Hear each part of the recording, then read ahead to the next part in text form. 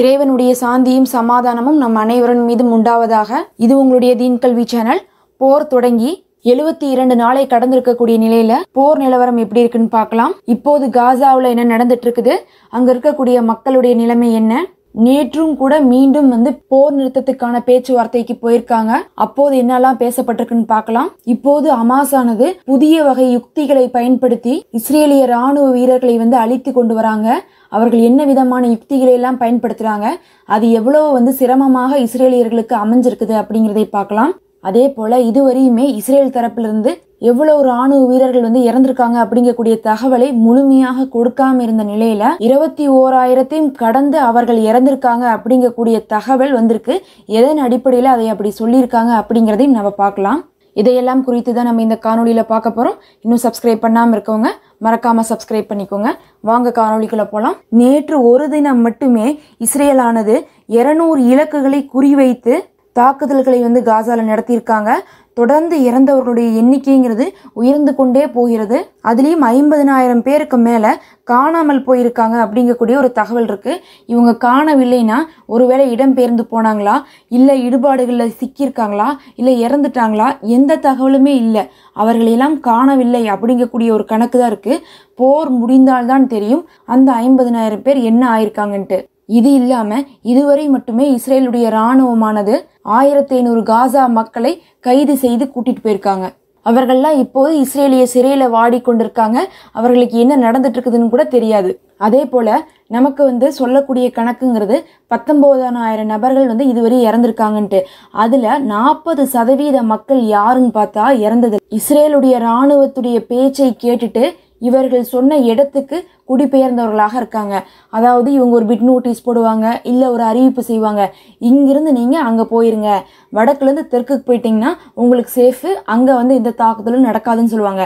அப்படி இவர்களுடைய பேச்சை கேட்டு கட்டளைக்கு இணங்கினவங்கள தான் இவங்க என்ன பண்ணியிருக்காங்க நாற்பது சதவீத மக்கள் வந்து கொண்டிருக்காங்க இவர்களுக்கு அவர்களை கொன்று குவிக்கணுங்கக்கூடிய எண்ணம் மட்டும்தான் இருந்திருக்கோ தவிர இவர்களுடைய கட்டளைக்கு இணங்காதவர்களை மட்டும் இவர்கள் கொல்லவில்லை. இவர்களுடைய கட்டளைக்கு இணங்கி அவர்கள் சொன்ன பகுதிக்கு போகும்போதும் போனதுக்கு பிறகும் அங்கே தாக்குதல் செய்துட்டு நாங்கள் உங்களை மாறதான் சொன்னோம். அங்கே நாங்கள் தாக்குதல் செய்ய மாட்டோம்னு சொல்லலையேன்னு சொல்லிட்டு இஸ்ரேல் தரப்புலேருந்து அறிவிச்சிருக்காங்க. அப்படிதான் வந்து வடக்குலேருந்து தெற்குக்கு வந்தபோது தெற்கில் தாக்குதல் செய்ததுக்கு இப்படி ஒரு காரணத்தை வேற அவங்க சொல்லியிருந்தாங்க. காசாவில் எந்த ஒரு இடமுமே பாதுகாப்பான இடம் அப்படின்னு கிடையாது. எல்லா இடத்துலையுமே தாக்குதல் செய்து கொண்டு இருக்காங்க இதுலயும் ஒரு சோகமான விஷயம் என்னன்னா ரஃபா கிராசிங்ல மட்டும் பல லட்சம் மக்கள் வந்து கூடியிருக்காங்க. இவர்கள் வந்து இடம் பெயர சொல்லிட்டே இருந்தாங்க. அதுக்கப்புறம் வந்து நாட்டை விட்டு வெளியேறலாம்னு சொல்லி சில மக்கள் வந்து ரஃபா கிராசிங்க்கு போனாங்க. ஆனால் எல்லைகளில் கதவு திறக்கப்படாதனால அவர்களெல்லாம் அங்கே இருந்துட்டு இருக்காங்க வெறும் குறுகிய இடத்துலயே வந்து பல லட்சம் மக்கள் இருக்க வேண்டிய நிலைமை இப்போது ஏற்பட்டிருக்கு. இதுதான் இன்னைக்கு கூட காசாவுடைய நிலைமையாக இருக்கு. நேத்து மறுபடியும் கூட எகிப்தோடு வந்து கலந்து பேசிட்டு கத்தாரோடு வந்து பேச்சுவார்த்தைக்காக போயிருக்காங்க. அதுல வந்து மொசாடுடைய தலைவரும் ஹமாஸுடைய தலைவரும்லாம் இருந்து பேசியிருக்காங்க. ரொம்ப நீண்ட நேரம் பேசியிருக்காங்க. ஹமாஸ் சொல்லக்கூடிய ஒரு சில விஷயங்களுக்கு கூட இவங்க வந்து ஒத்துக்கிற மாதிரி தான் தெரிஞ்சு ஆனா என்ன சொல்றாங்கன்னா இவங்க தற்காலிக போர் நிறுத்தத்தை தான் கேட்கறாங்க நிரந்தர போர் நிறுத்தத்தை இவங்க கேட்க மாட்டேங்கிறாங்க. சமாளிக்க முடியாத நிலைமை தான் ஆனா தற்காலிகமா நிறுத்தினா போதும். நாங்க பிணை கைதிகள் எல்லாம் வாங்கிக்கிறோம் தயாராகிக்கிறோம். அதுக்கப்புறம் மறுபடியும் தாக்கலாங்கிற மாதிரியான ஸ்டாண்டர்ட்ல தான் வந்து இஸ்ரேல் இருக்கு. ஹமாஸ் தலைவர்கள் முற்றிலுமாக வந்து அதை புறக்கணித்துட்டாங்க. நீங்க நிரந்தர போர் நிறுத்தத்துக்கு மட்டும் வரலைன்னா பேச்சுவார்த்தைக்கு நீங்க கூப்பிடாதீங்க. மற்ற எந்த விஷயத்துக்கு நீங்க ஒத்து வந்தும் அது பிரயோஜனம் இல்லைன்ட்டாங்க. சும்மா இவங்க என்ன பண்ணிட்டு இருப்பாங்க இவ்வளோ ட்ரக்குகள் உள்ள அனுமதிக்கிறோம். அந்த நான்கு நாட்களுக்கு அந்த மாதிரியான விஷயத்துக்கு தான் ஒத்து வர மாதிரி இவங்க வந்து வராங்களோ தவிர நிரந்தர போர் நிறுத்தமோ இரு நாடுகள் அப்படிங்கக்கூடிய தீர்வுக்கோ இவங்க ஒத்து வராததின் காரணமாக அமாஸ் தலைவர்கள் பகிரங்கமாக மறுத்துட்டாங்க. இந்த பேச்சுவார்த்தை முடிஞ்ச உடனே என்ன பண்ணியிருக்காரு நெத்தனியாகும் ஒரு பேட்டிக்கு வந்து செய்தியாளர்களை சந்தித்து பேசி என்ன சொல்லியிருக்காருன்னா இந்த போருங்கிறது நாங்க நிறுத்தவே மாட்டோம். அமாசையை ஒழிக்கிற வரையும் நாங்க வந்து தூங்கவே மாட்டோங்கிற மாதிரி எப்பவும் போல உள்ளக்குள்ள கதறி கதறி அழுதாலும் சரி வெளியே கம்பீரமா பேசியிருக்காரு. நாங்க நிறுத்தினோம்னா அது வந்து ஹமாஸ் ஜெயிச்ச மாதிரி ஆயிரும். அதனால நாங்க போற நிறுத்த மாட்டோம்னு சொல்லி நெத்தனியா சொல்லியிருக்காரு. இப்படி நெத்தனியாவு சொன்னதுக்கு அப்புறம் வேற யாருமே இல்ல இஸ்ரேலை சேர்ந்த ஆய்வாளர்களே சொல்லியிருக்காங்க. பின்னாடி வாசல் வழியாக போய் போர் நிறுத்தத்துக்கு கெஞ்சிட்டு போர் நிறுத்தம் கிடைக்கலன்னு சொல்லணும். முன்வாசல் வழியாக வந்து போரை நாங்க தொடருவோம்னு சொல்லி நெத்தன்யாகு சொல்லிட்டு இருக்கிறது வேடிக்கையாக இருக்குன்னு சொல்லியிருக்காங்க. இப்ப இவங்க முன்வாசல் வழியாக வந்து சொன்னது மட்டும்தான் எல்லா ஊடகங்கள்லயும் வந்துட்டு இருக்கு. அதை குறித்து தான் நாம எதையாவது சொன்னோம்னா இஸ்ரேலை ஆதரிக்கக்கூடியவங்க என்ன சொல்றாங்கன்னா அவங்க போர் நிறுத்தணும்னே சொல்லாத மாதிரியும் இஸ்ரேல் எப்போதுமே போர் நிறுத்தம் அப்படிங்கக்கூடிய பேச்சுக்கே வரலைன்னு சொல்றாங்க. அவங்க நேரடியாகவோ இல்ல பகிரங்கமாகவோ ஊடகத்தின் மூலமாகவோ எல்லாம் தெரிவிக்கவில்லை. அவங்க மறைமுகமாக அதை தொடர்ந்து முயற்சி பண்ணி கொண்டே இருக்காங்க. அதை வந்து இஸ்ரேலுடைய ஆய்வாளர்களே சுட்டிக்காட்டி கொண்டிருக்காங்க. இந்த இரண்டாம் கட்ட போர் தொடங்கியதிலிருந்தே வந்து வித்தியாசமான தாக்குதல்களை இஸ்ரேலுக்கு ஹமாஸ் ஆனது விருந்து படைத்துட்டு இருக்குன்னு தான் சொல்லணும். அதை இஸ்ரேலுடைய ராணுவ தளபதியே வந்து சொல்லியிருந்தாங்க நேத்து. அதை பத்தி நம்ம பார்த்தோம். எங்கனால இந்த இரண்டாம் கட்ட போர் தாக்குதல் ஆரம்பிச்சதுல இருந்தே ஒண்ணுமே புரிய மாட்டேங்குது. அவங்க என்னென்னமோ யுக்திகளை வந்து ஃபாலோ பண்றாங்க. ஒவ்வொரு இடத்துல ஒவ்வொரு மாதிரி இருக்குது. ஒவ்வொரு தடவை ஒவ்வொரு மாதிரி தாக்குதல் செய்யறாங்க கான்யூனிஸ்ல ஒரு மாதிரி நடக்குது. சுஜாயியால ஒரு மாதிரி நடக்குதுன்னு சொல்லிட்டு ஒவ்வொரு பகுதியில ஒவ்வொரு மாதிரி நடக்குதுன்னு சொல்லிட்டு எங்கனால சமாளிக்க முடியல. அதனால நாங்க வெவ்வேறு யுக்திகளை மாத்த வேண்டியது இருக்குதுன்னு சொல்லிட்டு அவங்க அறிவிச்சிருந்தாங்க. இன்னைக்கு அப்படிதான் வந்து ஹமாஸ் செய்த ஒரு யுக்தியை பார்க்க போறோம். இதுவரையும் இந்த மாதிரி யாருமே செய்திருக்க மாட்டாங்கன்னு தான் சொல்லணும். ஹமாஸ் வச்ச பொறியில வந்து அப்படியே வந்து சிக்கியிருக்காங்க. இப்ப ஹமாஸ் என்ன பண்ணிட்டு இருக்காங்க? தெற்கு தெற்கு காசால ஐந்து விதமான படைகளை இறக்கி ஒரு வித்தியாசமான தாக்குதலை செஞ்சுட்டு இருக்காங்க. இது தெற்கு காசால.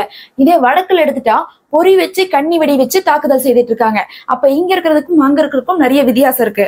அந்த சமயத்துல இஸ்ரேலுடைய வீரர்களை திசை திருப்புவதற்காக சில முயற்சிகளை பண்ணியிருக்காங்க. இரண்டு நாளைக்கு முன்னாடி ஒண்ணு பார்த்தோம். பள்ளி கட்டிடத்துக்குள்ள இஸ்ரேலுடைய ராணுவமானது நுழையும். அப்போது வந்து ஹமாஸ் பின்வாங்குற மாதிரி வந்து பின்வாங்குவாங்க. அதுக்கப்புறம் முழு ராணுவம் உள்ள நுழைஞ்சதுக்கு அப்புறம் சுத்தி போட்டு ஃபுல்லா அவங்கள ரவுண்ட் அப் பண்ணி தாக்குதல் செய்திருப்பாங்க. இதெல்லாம் பார்த்தோம். இப்- இப்ப என்னன்னா அவர்களை ஏமாத்துவதற்காக சேக் ரதுவான் பகுதியில இருக்கக்கூடிய ஒரு கட்டிடத்துல ஹமாஸ் போராளிகள் பேசிக் கொண்டிருக்கக்கூடிய சத்தத்தை இஸ்ரேலுடைய ராணுவ வீரர்கள் வந்து செவியேற்றிருக்காங்க. அந்த சத்தத்தை கேட்டுட்டு தல அந்த கட்டிடத்தை நோக்கி இவங்க நகர்ந்திருக்காங்க. தாக்குதலும் செய்திருக்காங்க. தாக்குதல் செய்துட்டு உள்ள போனதுக்கு அப்புறம் தான் தெரிஞ்சிருக்குது. அங்கிருந்து வெளியே வந்த சத்தமானது ஹமாஸ் போராளிகள் ஏற்கனவே ரெக்கார்ட் பண்ணி வச்ச சத்தமா இருக்கு. அங்க யாருமே அந்த சமயத்துல நின்னு பேசல. இவர்கள் வந்து அப்படி ஒரு பொறியை தான் வச்சிருக்காங்க. அந்த பொறியில தானாகவே வந்து இஸ்ரேலானது அந்த பில்டிங்குள்ள வந்து இஸ்ரேலிய சிப்பாய்கள் வந்து அந்த கட்டிடத்துக்குள்ள வந்துட்டாங்க. அதுக்கப்புறம் ஹமாஸ் அங்க வந்து அவர்களை தாக்கி ஒரே இடத்துல பல நபர்கள் வந்து இறந்திருக்காங்க. அதே மாதிரி காசாக்குள்ள வந்து இஸ்ரேலுடைய ராணுவம் போகும்போது எப்படி போகும்னு பாத்தீங்கன்னா அங்க இருக்கக்கூடிய எல்லா பொருட்களையுமே நசுக்கிட்டு தான் போவாங்க. அதுலயும் முக்கியமாக குழந்தைகள் பொருட்கள்னு ஏதாவது இருந்தா ஈவு இறக்கமே இல்லாம அது மேல ஏத்திட்டு தான் போவாங்க. அந்த அளவுக்கு வந்து குழந்தைகள் மீது கூட வெறி பிடிச்சவர்கள் இவர்கள். இரண்டு நாட்களுக்கு முன்னாடி ஒரு வீடியோ ரிலீஸ் பண்ணாங்க. ஒரு டாய் ஷாப்புக்கு போயிட்டு குழந்தைகளுடைய பொம்மையெல்லாம் எடுத்து தூக்கி தூக்கி வீசி அதை வீடியோ எடுத்து வெளியிட்டாங்க. வெளியிட்டவங்க அதுக்கப்புறம் கொஞ்ச நேரத்திலே தாக்குதல இறந்து போயிட்டாங்க. ஆனா அவர்களுக்கு வந்து அங்க இருக்கக்கூடிய குழந்தைகளை பார்த்தாவே பிடிக்கிறது இல்ல.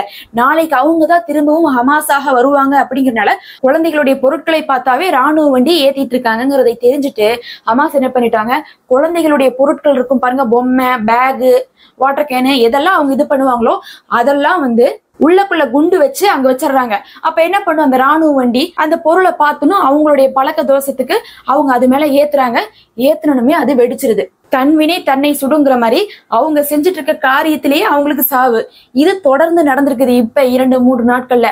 இப்ப என்ன பண்ணிடுறாங்க? அப்படி ஏதாவது ஒண்ணு இருந்தா அந்த பக்கம் போறக்கே பயப்படுறாங்க. அதை தொட்டாலும் வெடிக்கும் ஏத்துனாலும் வெடிக்கும் நவுந்து போறதுக்கு இடம் இல்லைன்னு சொல்லிட்டு ஒரு மாசமா அத்துமீறி செஞ்சுட்டு இருந்த காரியத்துக்கு இப்ப எதை பார்த்தாலும் வந்து அருண்டவன் கண்ணுக்கு இருண்டதெல்லாம் பேய்ங்கிற மாதிரி அங்க இருக்கக்கூடிய குப்பைகளை பார்த்தா கூட இஸ்ரேல் வந்து பயந்து செயல்படுதுங்கிற நிலைமை வந்திருக்கு. இதெல்லாம் தான் போர்ல முக்கியமாக செய்ய வேண்டிய யுக்திகள். எதுல அவங்க முட்டாள்தனமாக இருக்காங்களோ அதவே வந்து அவங்களுக்கு ஆயுதமாக ஆக்கியிருக்காங்க. இப்ப அவங்க வரக்கூடிய எல்லா பாதைகளிலுமே என்ன பண்ணிடுறாங்க? இப்ப நீங்க இந்த படத்துல பார்க்கக்கூடிய இதெல்லாம் வந்து குழந்தைகள் சம்பந்தமான பொருட்கள். இதுலதான் வந்து பாமை வந்து பிளேஸ் பண்ணி இஸ்ரேலுடைய ராணுவ வண்டிகள்ல எங்க வருதோ அந்த வழிகள்ல கொண்டு போய் போட்டுறாங்க.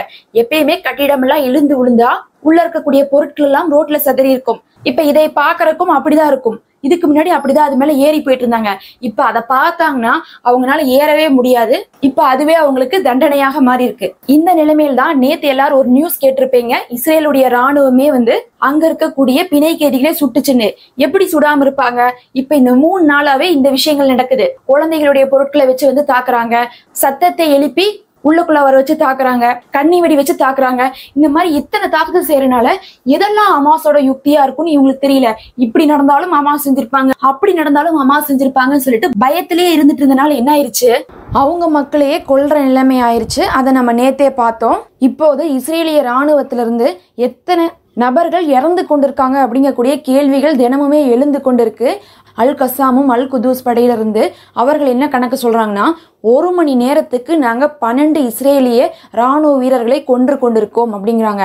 அஞ்சு நிமிஷத்துக்கு ஒருத்தவங்களையும் கொண்டுட்டு இருக்காங்க அப்போ ஒரு நாளைக்கு மட்டுமே முந்நூறு நபர்கள் வருவாங்க இந்த கணக்கில் பார்க்கும்போது. இந்த எழுபத்தி ரெண்டு நாளில் பார்க்கும்போது இருபத்தி ஓராயிரத்திலிருந்து தொடக்கூடியதாக இருக்கு. இஸ்ரேலிய வீரர்கள் இறந்தவர்களுடைய எண்ணிக்கையாக இருக்கு. ஆனா இதே கணக்கை வந்து இஸ்ரேல் தரப்புல இருந்து என்ன சொல்லிட்டு இருக்காங்கன்னா ஆறுநூத்தி ஐம்பது பக்கம் தான் வந்து சொல்லிட்டு இருக்காங்க. இதுக்கு முன்னாடி என்ன பண்ணிட்டு இருந்தாங்கன்னு பார்த்தா நானூத்தி அறுபது நானூத்தி எழுபதுன்னு சொல்லிட்டு இருந்தாங்க. அதுக்கப்புறம் பார்க்கும்போது ஒரு இரண்டு மூணு நாள் கழிச்சுட்டு திடீர்னு மறுபடியும் நானூத்தி முப்பதுல இருந்து கணக்கு சொல்ல ஆரம்பிச்சிட்டாங்க. இவங்க அதிகமாகக்கூடாதுங்கிறதுக்காக பின்னாடி பின்னாடி போய் அதுலேருந்து மறுபடியும் கணக்கு எடுத்துட்டு இருப்பாங்க.